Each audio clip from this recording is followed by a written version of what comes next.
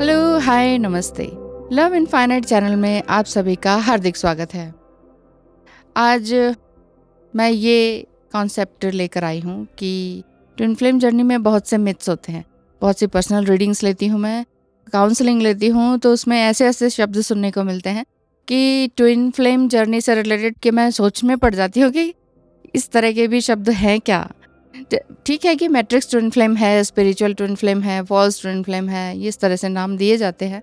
लेकिन visible twin flame? ये मैंने नहीं सुना। और विजिबल ट्विन फ्लेम होता क्या है, नहीं पता। जिन्हें जो लोग बोल रहे हैं, आप उनसे जाके पूछिए पहले, ठीक है? मुझे नहीं मालूम। और इस तरह की कोई बात नहीं होती है कि विजिबल एंड इनविजिबल, कोई मिस्टर इंडिया नहीं है, डिवाइन मस्कुलाइन के इनविजिबल हो जाएँगे। एक्चुअली किसी न किसी कारणवश कहा जाता होगा उन्हें भी। इस चीज़ को आपको समझना होगा। हम्म, वैसे अगर बात की जाए कि ट्विन फ्लेम जर्नी में मिथ्स बहुत हैं वो ये है कि ये एक बहुत ही रोमांटिक जर्नी है। नहीं ऐसा नहीं है। लेकिन आप लोग ये कहते हैं कि मैम आप आप भी तो बताती हैं कि ऐसी फ़िज़िकल सेंसेशन ये वो है ना और ड्रीम्स आना तो वो क्या है? वो है वो बबल फ़ेज़ है लेकिन वो बबल फ़ेज़ बहुत छोटा सा होता है और बहुत ही कम टाइम के लिए होता है। कुछ हफ्तों के लिए, किसी का कुछ महीनों के लिए, किसी का दो, तीन साल चल जाए तो समझ लीजिए यू आर लक्की और, इतना, अगर ये आपका बीस साल से, दस साल से, पंद्रह साल से आप उस रिलेशनशिप में हैं तो आप ये समझेंगे कि ये रोमांटिक जर्नी चलती रहेगी बबल फेस चलता रहेगा पंद्रह बीस साल तो ऐसा नहीं होता इस जर्नी में, क्योंकि twin flame journey romantic journey नहीं है, कोई सेक्सुअल जर्नी नहीं है, इसीलिए बार बार कहती हूँ कि रीयूनियन के पीछे मत भागिए कि रीयूनियन चाहिए रीयूनियन चाहिए। अच्छा एक मिथ ये भी है कि हम अपने रीयूनियन को शॉर्ट कर सकते हैं। ऐसा नहीं है शॉर्ट नहीं कर सकते हैं। जब जो होना है वो तभी होना है, एक डिवाइन टाइम पर ही होना है। तो शॉर्ट करने के लिए कई लोग तांत्रिक, इन लोगों का सवाल, सहारा लेने लगते हैं। तांत्रिक हो गए वशीकरण करने वाले हो गए तो उनके पास चले जाते हैं और कहते हैं, भाई कुछ भी करके ना, मेरा डीएम मेरे पास ले आओ। तो ऐसा होना बहुत मुश्किल हो जाता है। हो जाएगा। आप कहेंगे कि नहीं नहीं, हमने कराया था और वो हो गया, वो मेरे पास आ गया। लेकिन क्या गारंटी है कि वो हंड्रेड परसेंट आपके ही बनकर आ जाए? बिल्कुल पॉजिटिव ही होकर आ जाए। और पहली बात तो यही है कि ये चीज़ गलत है। मैं भी एक डिवाइन फेमिनाइन एनर्जी में हूँ बैलेंस स्टेट में हूँ रीयूनाइटेड हूँ। अपने ही ट्विन फ्लेम से। और मेरा ट्विन फ्लेम जो नए हैं, उन्हें बता देती हूँ, वो मेरे हस्बैंड ही हैं। तो काफ़ी सालों का गैप रहा। तो इसके बाद काफ़ी सालों में सेपरेशन भी हुआ। एक ही बार सेपरेशन नहीं हुआ, कई बार सेपरेशन हुआ। देन समझ में आने लगी कि चिड़िया चू चू कर रही है। जी हाँ तो फिर काफ़ी सालों बाद ही रीयूनाइट होना हो पाया, क्योंकि मैं खुद को समझ पाई। अभी तक डिवाइन मस्कुलाइन पर ही ब्लेम कर रही थी, क्योंकि वो मुझ पर ब्लेम कर रहे थे। तो देखिए, जब तक आप एक दूसरे को ब्लेम करते रहेंगे तो बात आगे बढ़ेगी नहीं। बात वहीं रह जाएगी, जैसे कि आप ट्रेडमिल पे दौड़ रहे हैं। दौड़ रहे हैं, दौड़ रहे हैं, दौड़ रहे हैं एग्जॉस्ट हो रहे हैं, लेकिन कहीं पहुँच नहीं रहे। ये वाली बात है। और कॉन्सेप्ट बताऊँ, जो कि मिथ्स हैं, वो यही है कि कि मेल फीमेल के अलावा सेम जेंडर में भी हो सकते हैं। सेम जेंडर के भी ट्विन फ्लेम्स हो सकते हैं। ठीक है?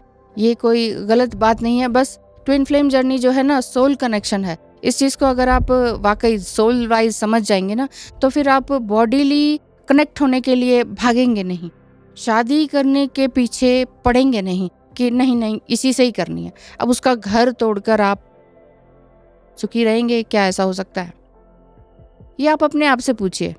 मैं गलत लग रही होंगी इस समय में, लग सकती हूँ। आप मुझे गलत भी बोल सकते हैं, ठीक है?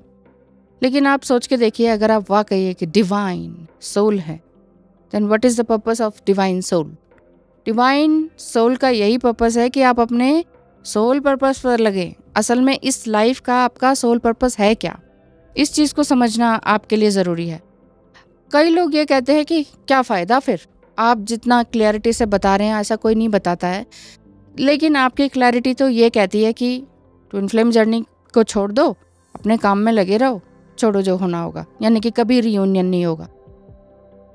जो मैं क्लैरिटी से बता रही हूँ, इसका मतलब ये नहीं है कि रीयूनियन कभी नहीं होगा।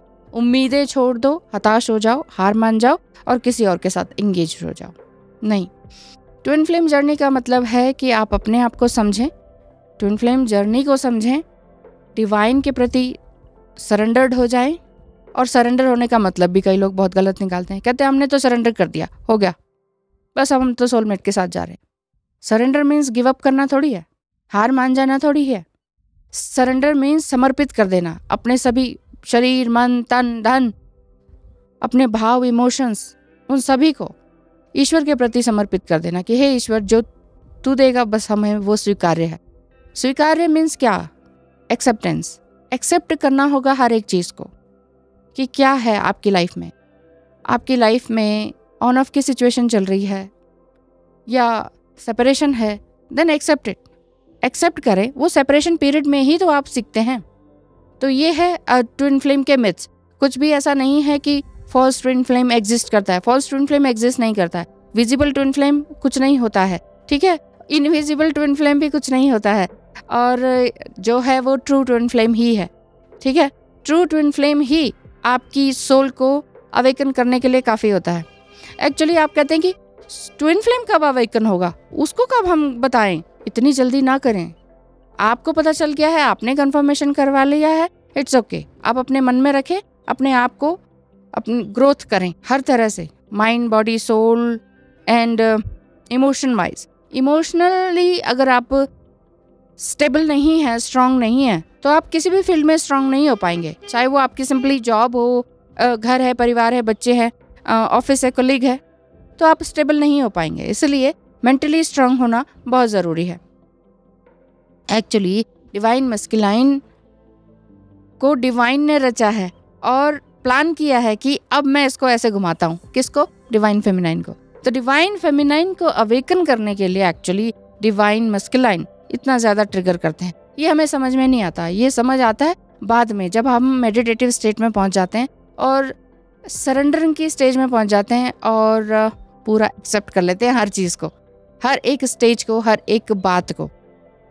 हमने इस, अब कई लोग ये भी कहते हैं कि इस बात को हम कैसे एक्सेप्ट कर लें कि वो मल्टीपल रिलेशनशिप में सभी ट्विन फ्लेम, सभी डिवाइन मस्किलाइन मल्टीपल रिलेशनशिप में नहीं जाते हैं।